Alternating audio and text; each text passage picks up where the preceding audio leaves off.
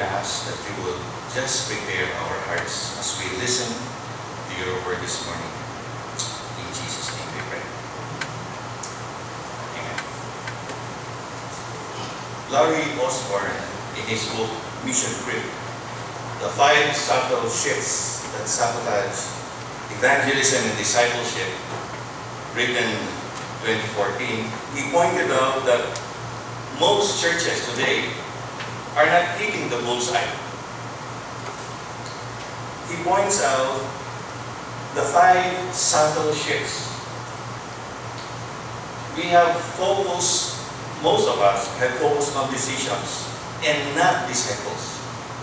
We have from obedience to doctrines, from persuasion to warfare, from people to numbers, and from Jesus to justice. In this book, Osborne reminds us that decisions, doctrines, warfare, numbers, and justice are important. But that should not be the focus.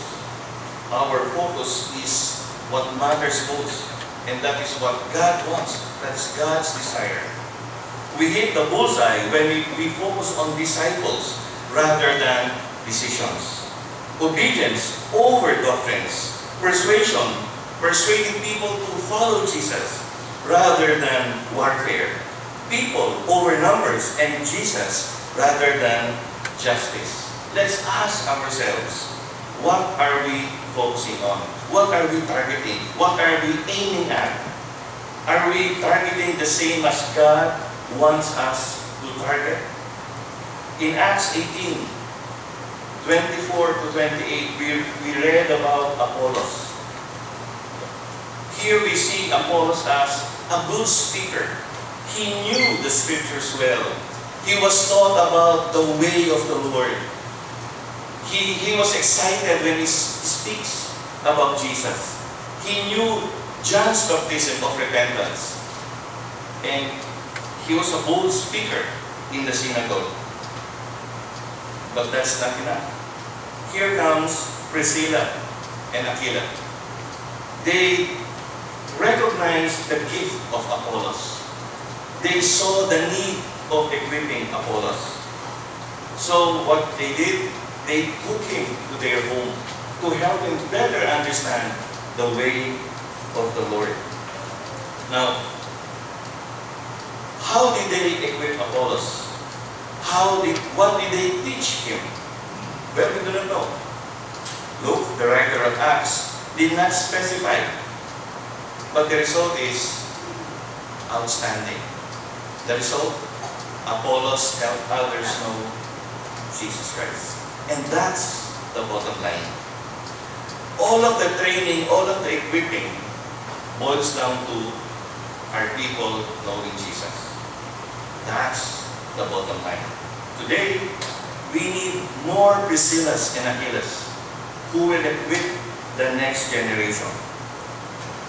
As one of your missionaries, I conduct seminars for pastors and church leaders in Luzon, Visayas, and Mindanao, and even some parts of Asia and the Middle East.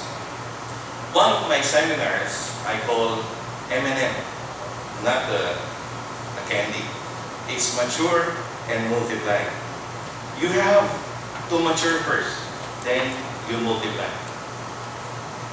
If you are not maturing, please don't multiply.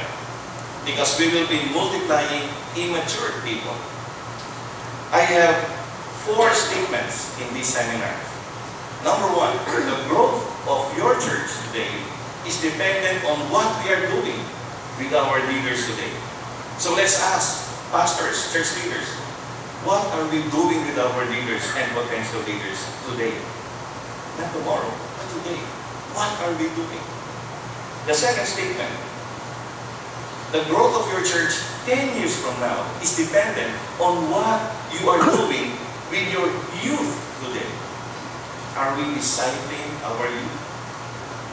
When I was uh, a youth, 70 pounds ago,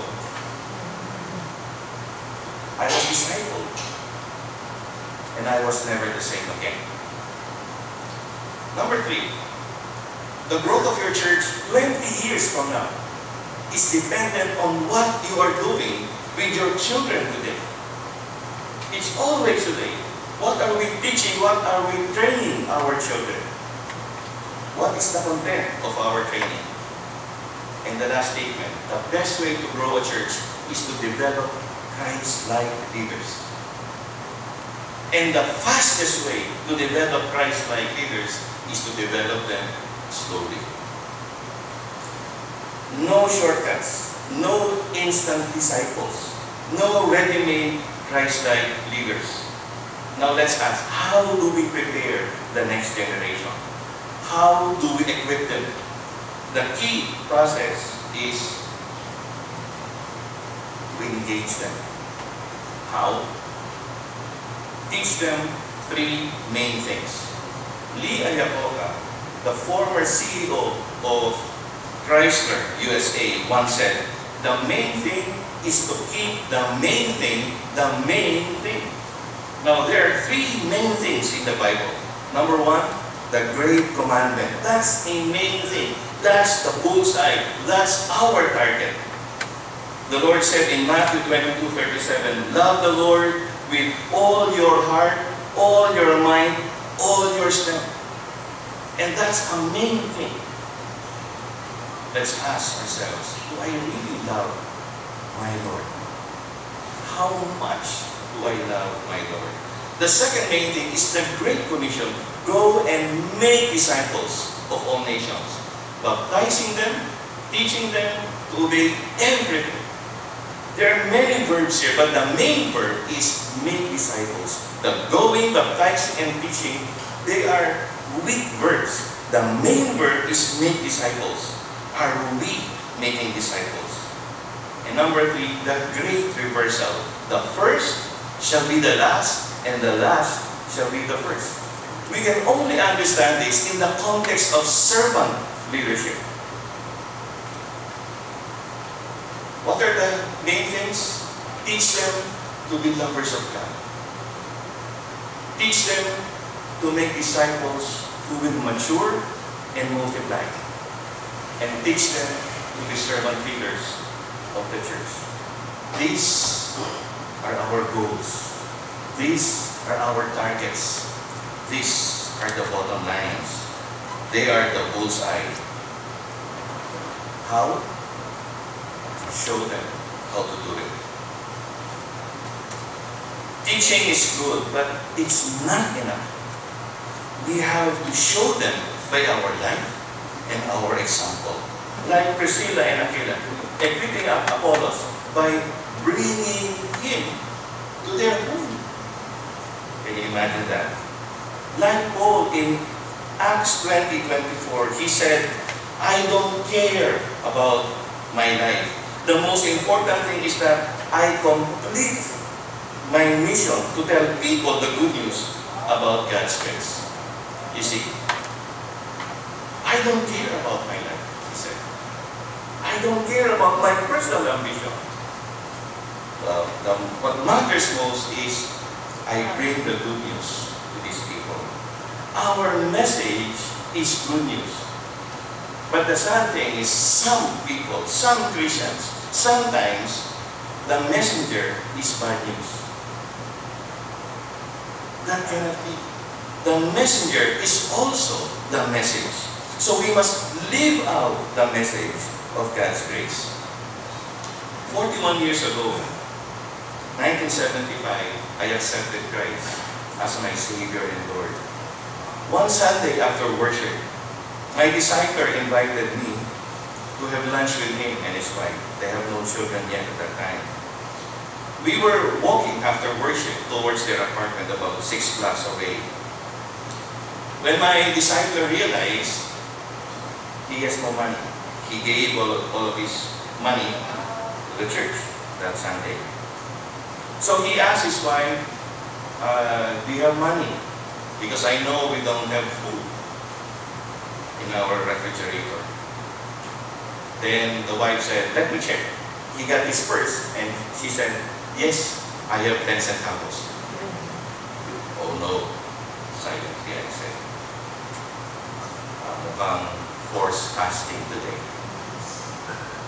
As we walked, we started to pray. And my disciples started to sing and pray and even thank God. Upon reaching their small apartment, they opened the door, lo and behold, an envelope on the floor greeted us. Nothing, just an envelope.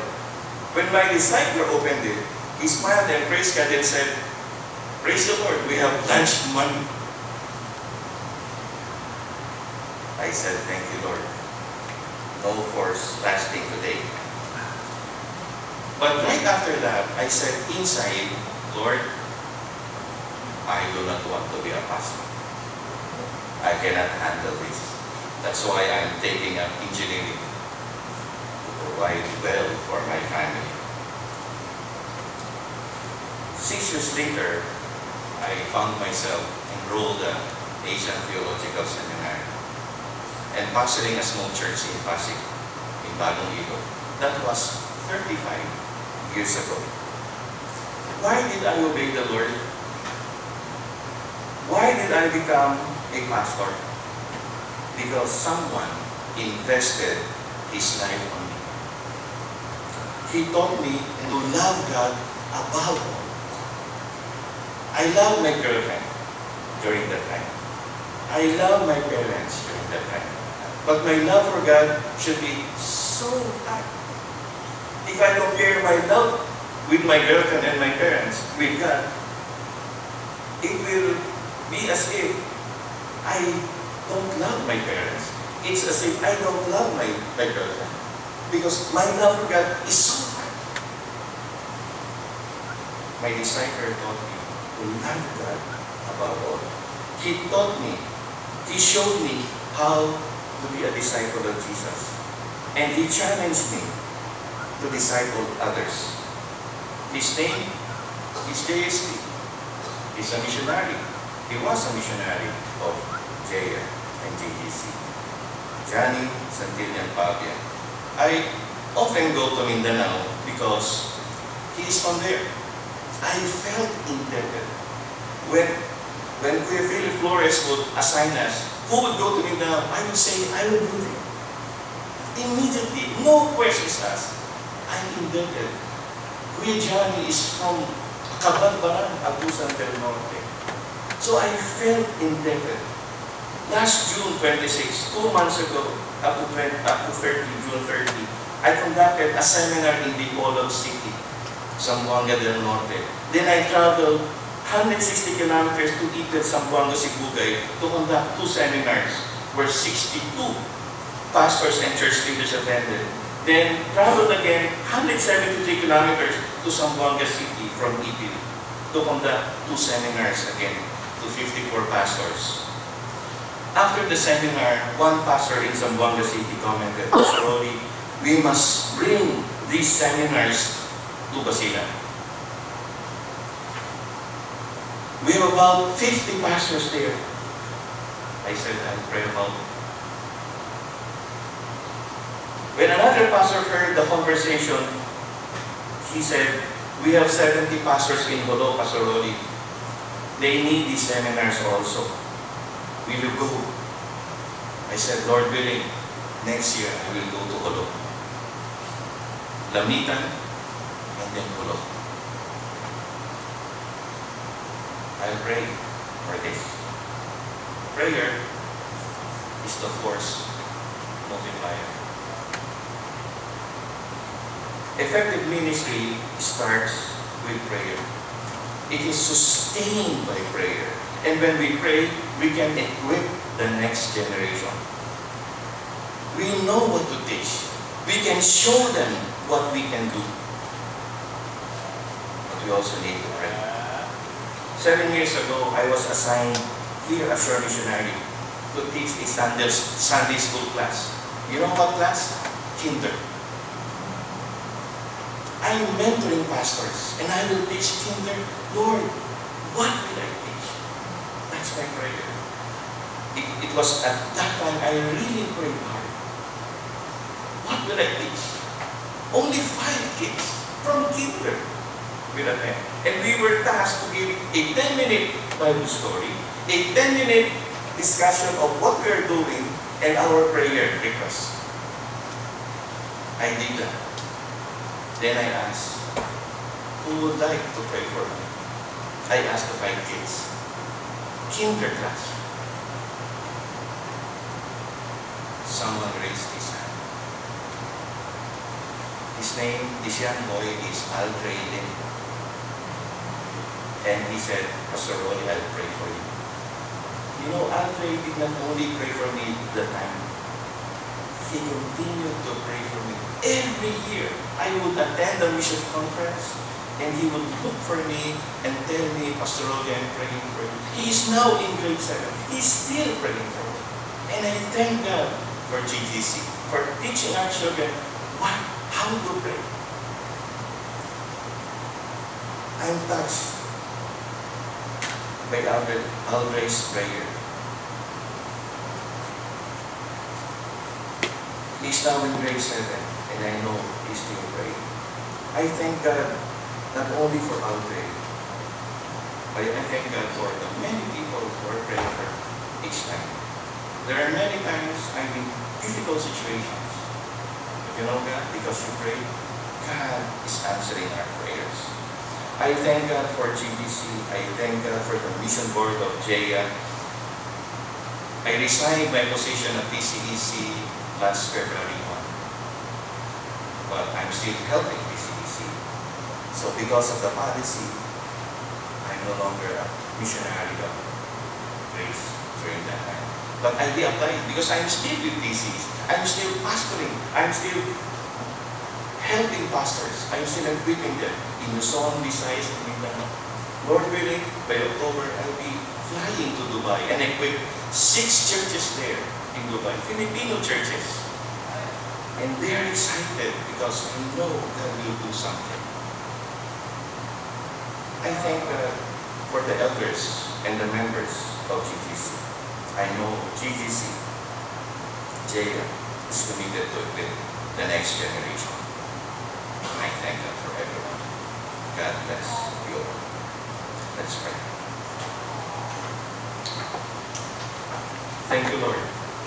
Your word is sharp than any two-edged sword. It will accomplish its purpose.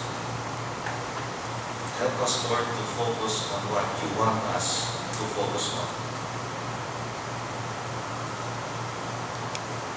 Help us, Lord, to seek, to discern the subtle shifts most, most churches are doing today. Help us, Lord, to do what you want us to do. Build your leaders, Lord. Mature each one of us. And as we follow you, people, Lord, will never be the same again. Thank you, Father, for this church.